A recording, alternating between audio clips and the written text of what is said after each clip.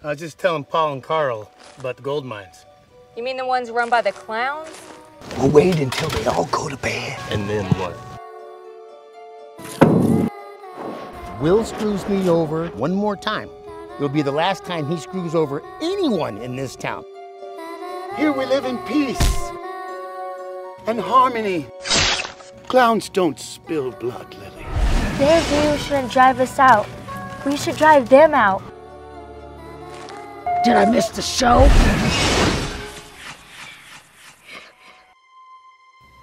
Hello? There's no one fucking here. Did you say bachelorette? Are you getting married? Um, yep. This week, actually. Hey guys, thanks for letting us stay, but we really gotta get going. Motherfucker! We're just trying to figure out what's going on. It's not adding up. We're the only ones here. Then who's outside to do this? Here we are at the Tonopah Cemetery, where lost souls wait to be released.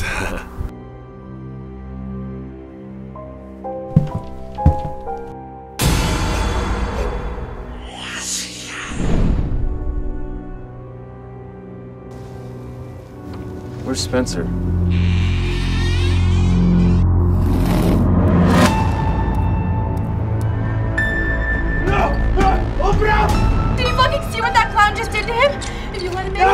One of us is in there. That you like killing.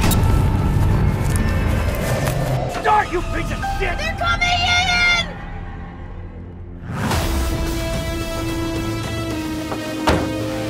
Oh, Jesus Christ, they're everywhere! Oh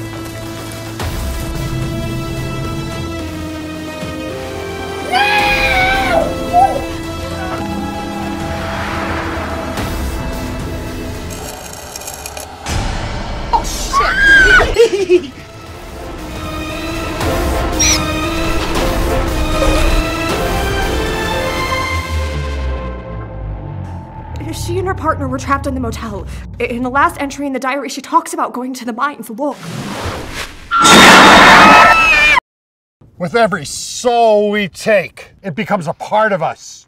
You become a part of us. You become a part of our world.